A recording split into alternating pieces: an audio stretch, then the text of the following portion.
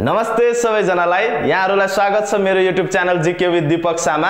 आज अन्तर्राष्ट्रिय सङ्घ संस्था अन्तर्गत नयाँ टपिक लिएर उपस्थित भइसकेको छु। BIMSTEC bay of Bengal initiative for multi sectoral technical and economic cooperation. हो बी मिस्टेकको बारेमा पढ्नुभन्दा अगाडि यसको पहिले कन्सेप्ट बुझौँ है। यो बी मिस्टेक भन्ने सङ्गठन किन आवश्यक पर्यो त?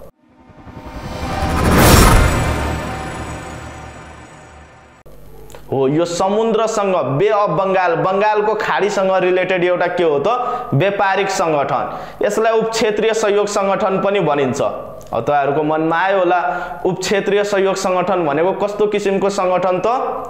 यसमा आबद्ध भएको राष्ट्रहरू अलरेडी कुनै एउटा मेन सङ्गठनमा के छन् त? आबद्ध छन्।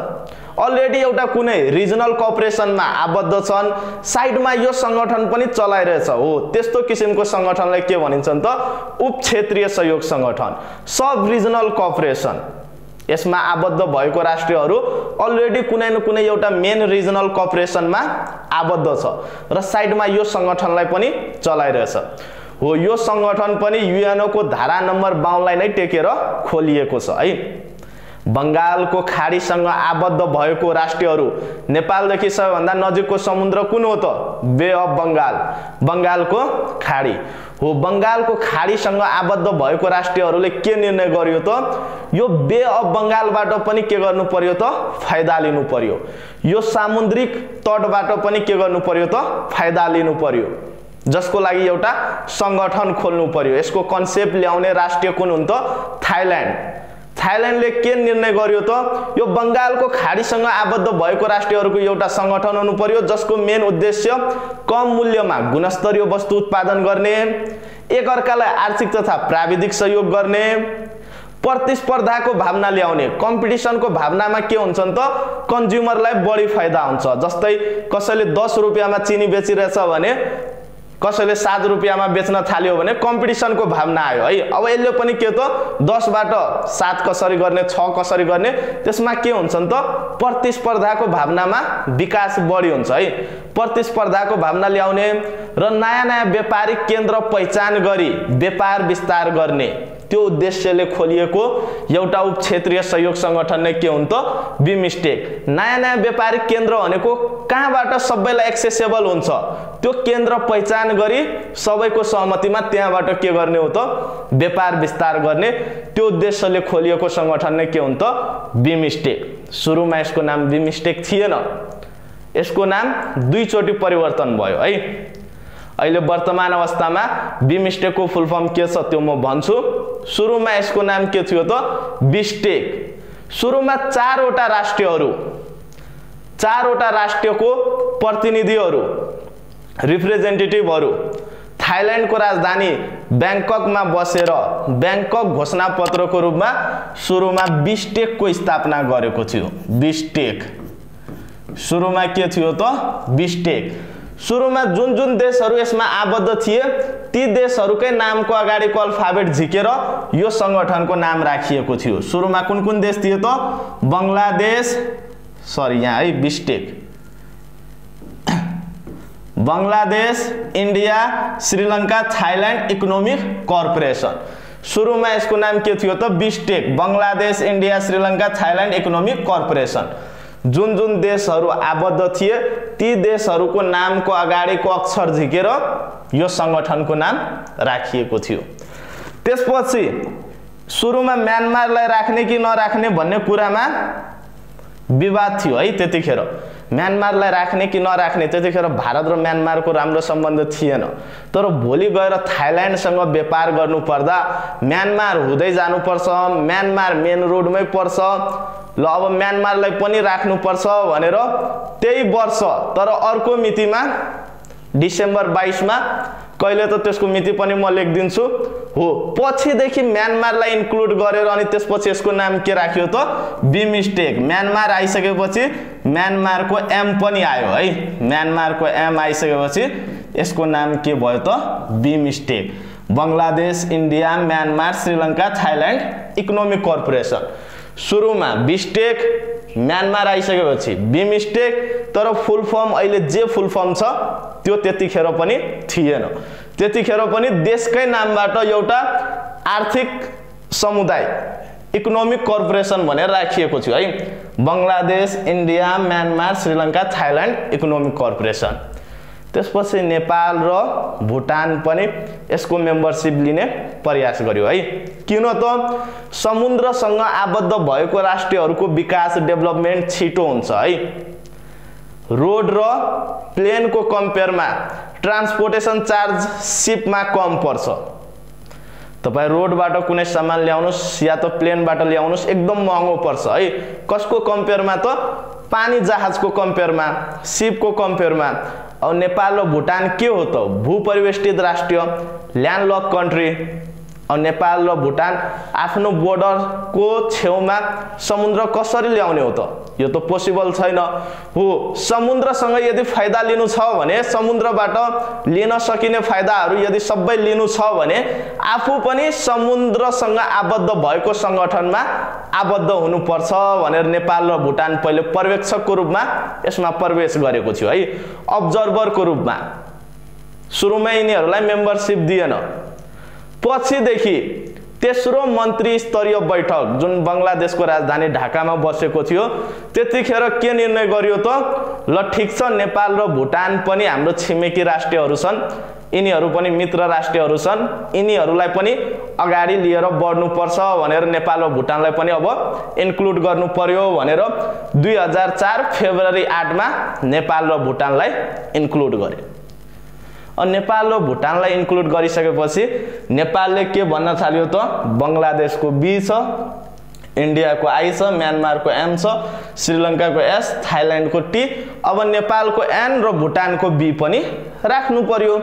यदि सङ्गठनको नाम सदस्य राष्ट्रहरूको नामबाट राखिएको छ भने अब हामीहरू पनि यसको मेम्बर भइसकेपछि हाम्रो पनि नाम इन्क्लुड गर्नु पर्यो। यो कुरा एकदम सही थियो है। एकदम जायज पनि थियो। त्यसपछि बिमस्टेकको संस्थापक राष्ट्रहरूलाई प्रब्लम हुन थाल्यो है? भोलि गएर फ्युचर कसैले पनि देखेको छैन।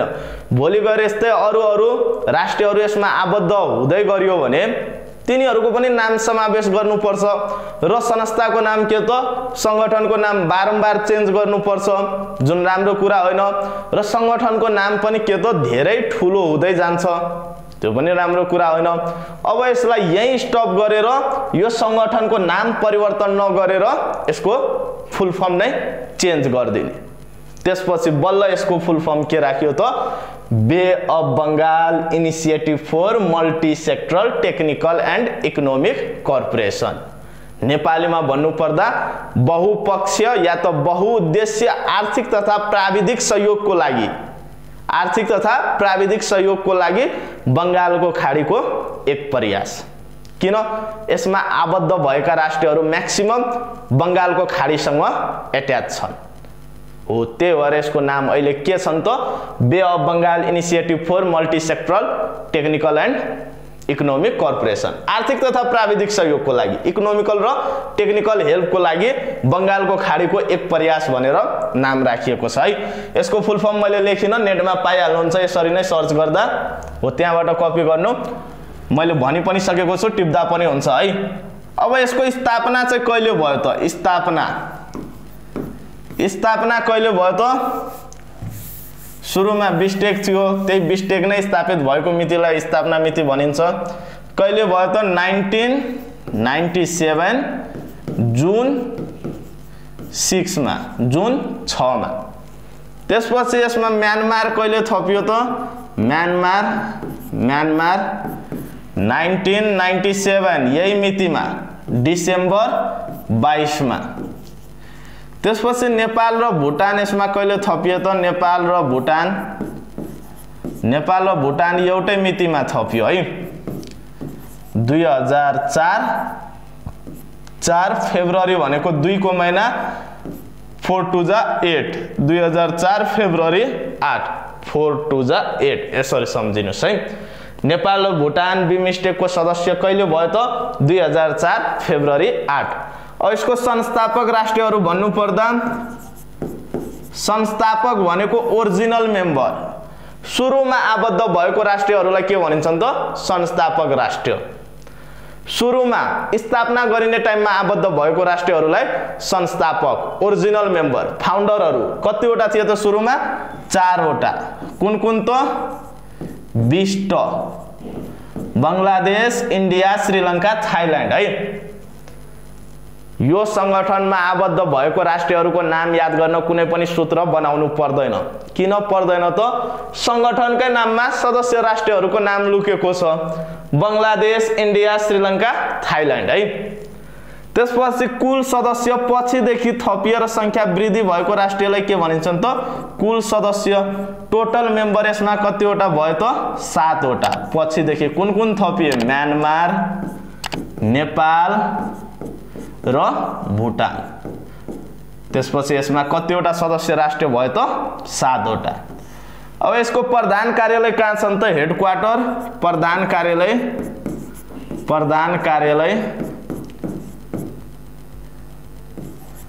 प्रधान कार्यालय कहाँ छन् त? बङ्गलादेशको राजधानी ढाकामा। ढाकामा छन्। है यसको हेड क्वार्टर कहाँ छन् त? बङ्गलादेशको राजधानी ढाकामा। यसको बडापत्र रिसेन्टली तयार भयो। दुई हजार बाइस मार्च एकतिसमा हो। त्यो बडापत्रमा कतिवटा धारा छन् त? यसको बडापत्रमा धारा कतिवटा छन् त? छत्तिसवटा। तिनको डबल छ। भाग कतिवटा छन् त? भाग भनेको पाठ आर्टिकल धारा। पाठ कतिवटा छन् त? एघारवटा। अनुसूची कतिवटा छन् त? अनुसूची अनुसूची अनुसूची भनेको सेड्युल कतिवटा छन् त? दुईवटा। दुईवटा। र यो बडापत्रमा नेपालको तर्फबाट हस्ताक्षर गर्ने व्यक्ति यो बडापत्रमा जुन रिसेन्टली यसको बडापत्र तयार भयो बिमस्टेकको त्यो बडापत्रमा हस्ताक्षर गर्ने नेपालको तर्फबाट है। हस्ताक्षरकर्ता नेपालको तर्फबाट। नेपालको तर्फबाट बुझ्नुहोस् है। नेपालको तर्फबाट हस्ताक्षर गर्ने गर्ने व्यक्ति को थिए त? तत्कालीन प्रधानमन्त्री शेरबहादुर देउवा। शेरबहादुर देउवा है? शेरबहादुर देउवा। बिमस्टेकको बडापत्रमा नेपालको तर्फबाट कसले हस्ताक्षर गर्यो भनेर सोध्यो भने शेरबहादुर देउवा। बिमस्टेकको पहिले सातवटा उद्देश्य थियो अहिले एघारवटा उद्देश्य भइसकेका छन्। र सिद्धान्त कतिवटा छन् त? उद्देश्य एघारवटा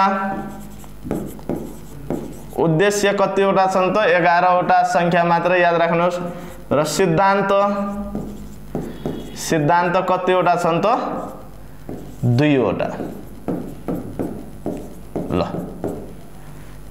यो भयो बिमिस्टेकको सर्फेसको कुरा। अब बिमिस्टेकमा अङ्गहरू कतिवटा छन् त्यो पनि बुझ्नु पर्यो। बिमिस्टेकमा कतिवटा अङ्गहरू छन् त तिनवटा।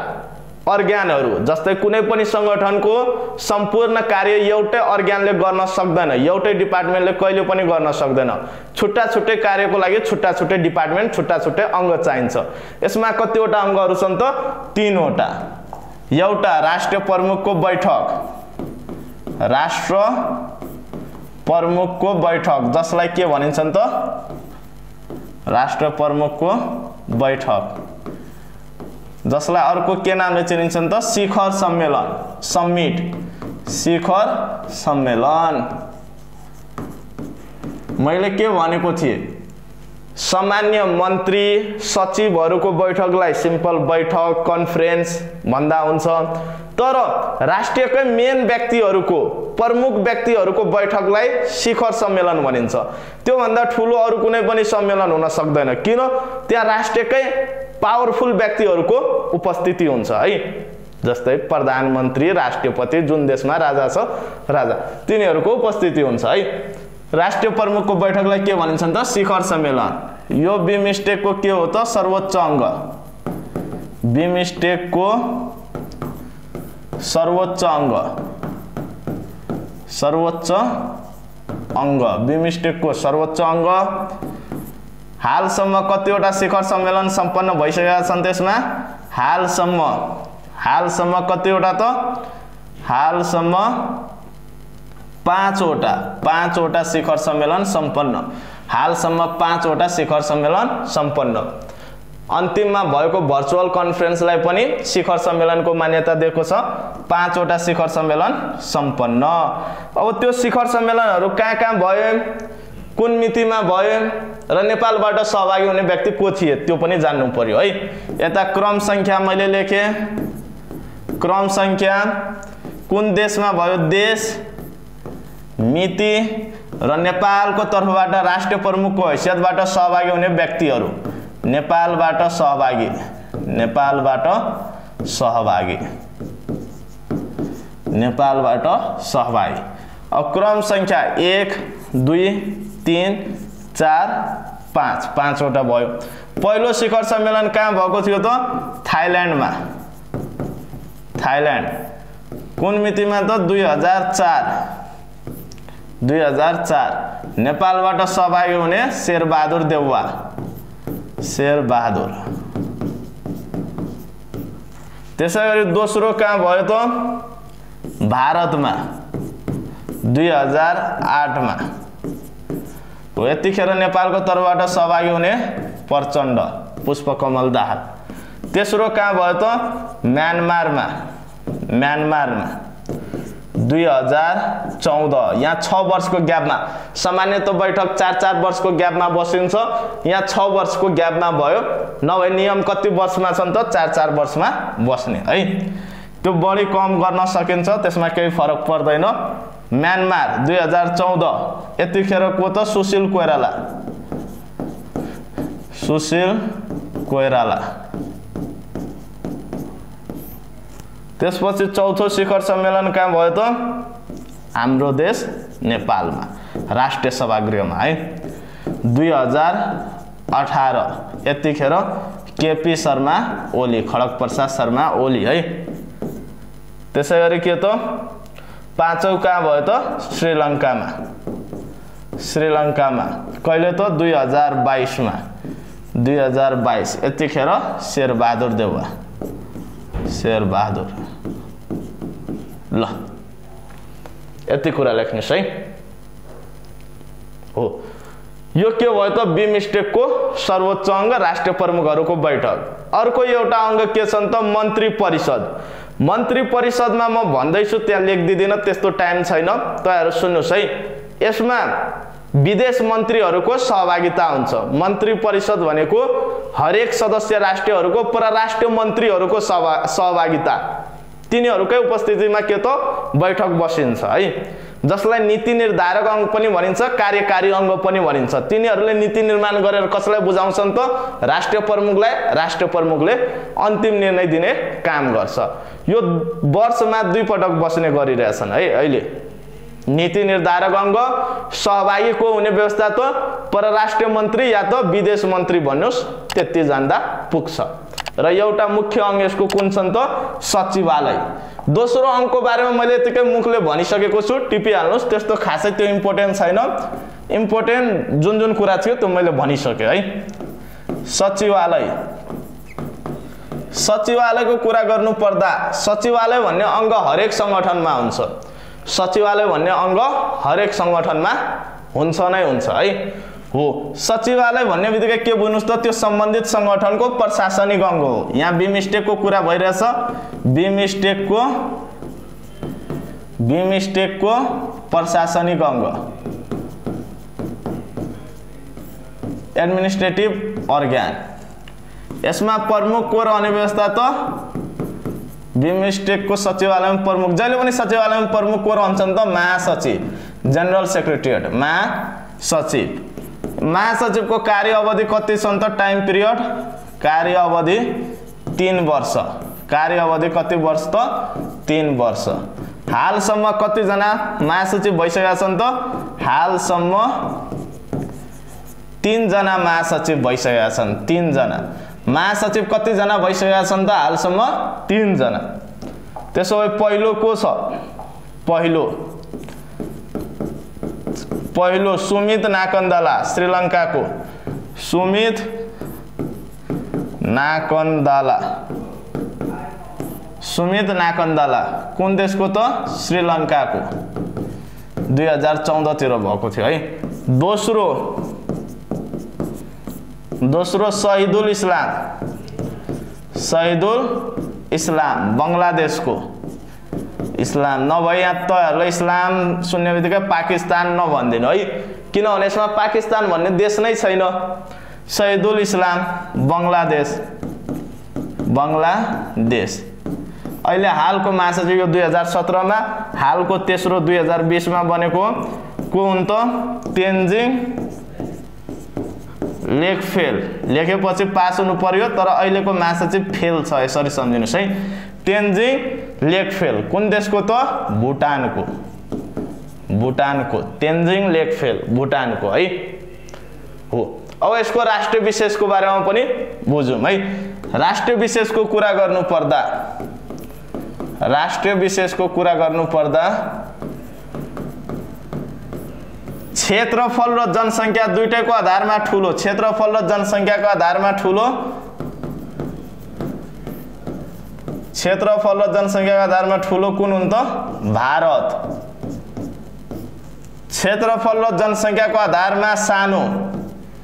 सानो है? सानो कुन त?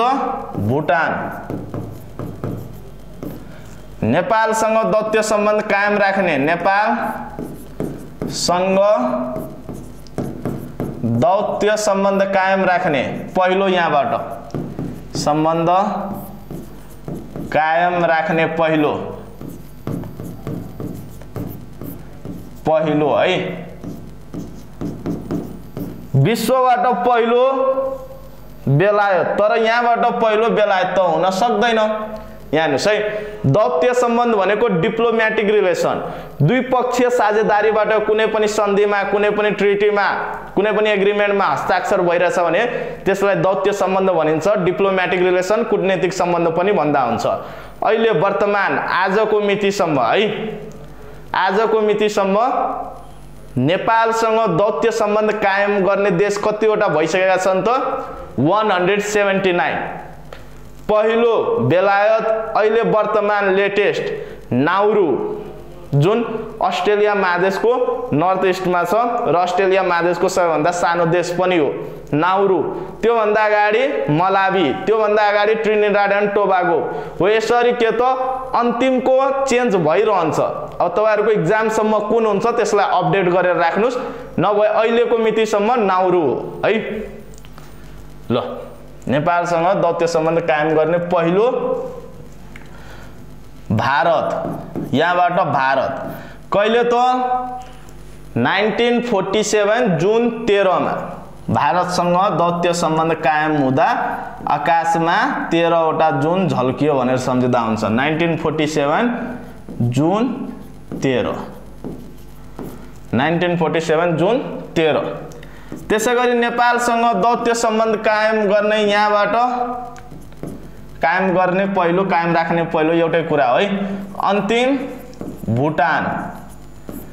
भुटान है। नाइन्टिन एट्टी थ्री जुन तिनमा। जुन तिनमा है। अब यहाँबाट युएनओमा प्रवेश गर्ने पहिलो युएनओमा प्रवेश गर्ने पहिलो त्यो पनि भारत नै हो। युएनओमा प्रवेश गर्ने पहिलो भारत। कहिले त? नाइन्टिन फोर्टी फाइभ अक्टोबर तिसमा। यहाँबाट युएनओमा प्रवेश गर्ने अन्तिम यहाँ फेरि भुटान हुँदैन है। अन्तिममा कुन छन् त? बङ्गलादेश। यो चाहिँ विचार गर्नु पर्यो। बङ्गलादेश। कहिले त नाइन्टिन सेभेन्टी फोर सेप्टेम्बर सत्रमा। है ल। यो कुरा भयो यसको राष्ट्रिय विशेषको कुरा। अब तपाईँहरू यहाँ के विचार गर्नुहोस् त क्षेत्रफलको हिसाबले सोधियोस् या त जनसङ्ख्याको हिसाबले। यहाँ नेपाल कति नम्बरमा पर्छन् त पाँचौँ नम्बरमा। पाँचौँ नम्बरमा है। क्षेत्रफलको हिसाबमा चौथो नम्बरमा पर्छ जनसङ्ख्याको आधारमा पाँचौँ नम्बरमा। किन क्षेत्रफलको आधारमा? बङ्गलादेश नेपालभन्दा सानो छ है? क्षेत्रफलको आधारमा नेपाल यहाँ कति हो ठुलो त? चौथो ठुलो जनसङ्ख्याको आधारमा पाँचौँ ठुलो है? ल त्यो सब कुराहरू यति भयो। अब यसमा अझै एउटा कुरा के जोड्यो त? बी मिस्टेकको अर्को नाम के हो त? Bridge between SAARC and ASEAN. किन bridge between SAARC and ASEAN भनिएको छ त? यसमा सार्कको पाँचवटा राष्ट्रिय छन्। आसियन भन्ने पनि एउटा सङ्गठन छ त्यसको बारेमा म भन्छु। जुन एसिया महादेशको साउथ इस्टतिर रहेको राष्ट्रहरूको सङ्गठन हो जसमा दसवटा देशहरू छन्। ती दसवटा देशहरूमध्ये यहाँ दुईवटा देश छन् थाइल्यान्ड र म्यानमार।